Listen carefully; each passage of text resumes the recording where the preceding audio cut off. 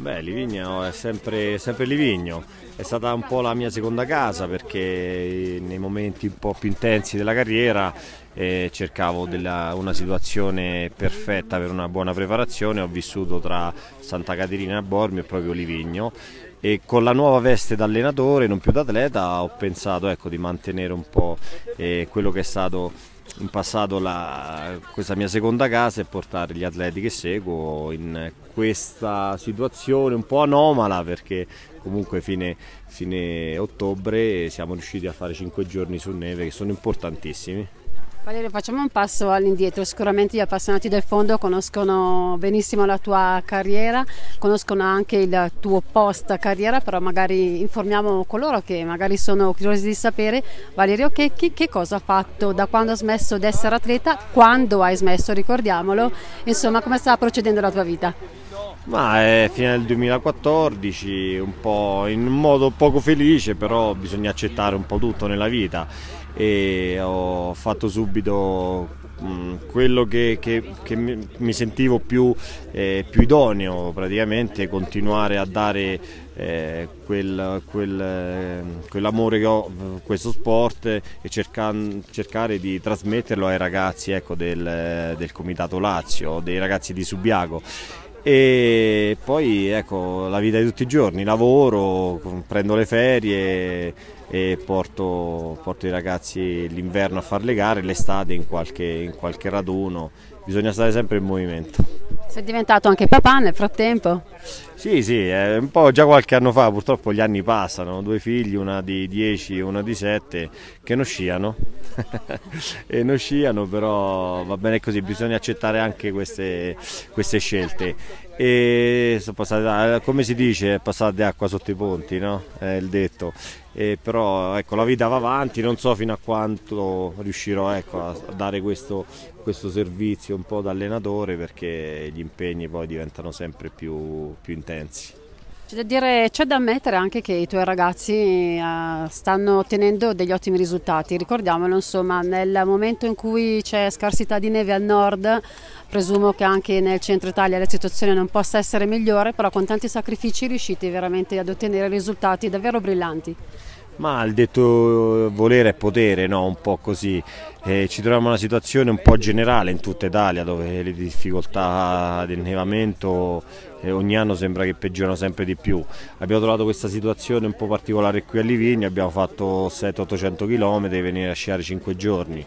l'inverno anche noi le stagioni diventano sempre più corte, le gare però ci sono, ci alleniamo e facciamo i salti mortali, però eh, siamo destinati forse a far questo, a soffrire.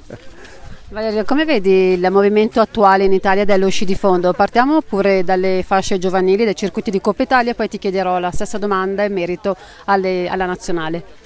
Ma diciamo lo sci di fondo è cambiato molto, si sta evolvendo, purtroppo i numeri stanno scendendo ma è un dato di fatto che eh, bisogna capire cos'è veramente quello che, che, manca a questo sport, sicuramente le distrazioni del, mm, di tutti i giorni dei ragazzi, forse stanno cambiando tantissime cose, le scuole, eh, lo stress pure giornaliero e tanti giovani si allontanano dallo sport per poi una situazione eh, di, di, di comodo.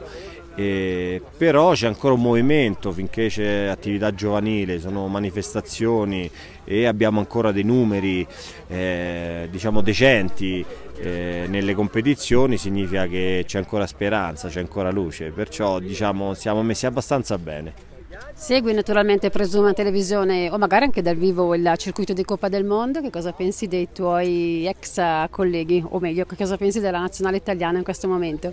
Ma non riesco a seguire proprio direttamente, certo sono sempre informato su televisione, sui siti che, che danno subito in diretta i risultati. Eh, lo sci di fondo a livello agonistico, Coppa del Mondo che conosciamo noi, abbiamo questi due per fortuna atleti, Federico Pellegrino e Francesco De Fabiani, che stanno tenendo in alto un po' quello che è stata la storia dello sci di fondo italiano. E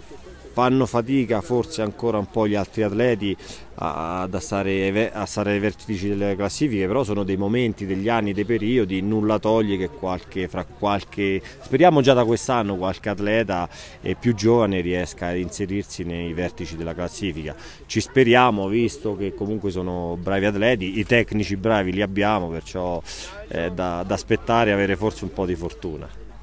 Norvegesi ed anche russi che ne fanno sempre un po' da padroni ma lì è un'altra situazione, lì forse vivono per questo sport, hanno delle stagioni molto più lunghe, più intense, hanno anche dei numeri più eh, enormi, qui i campioni italiani assoluti tante volte siamo arrivati ad avere 30 uomini e 10 donne, lì hanno una selezione di centinaia e centinaia di atleti, è più facile sicuramente trovare un campione, può darsi in Italia il vero un futuro campione può darsi che smette a 15 anni per motivi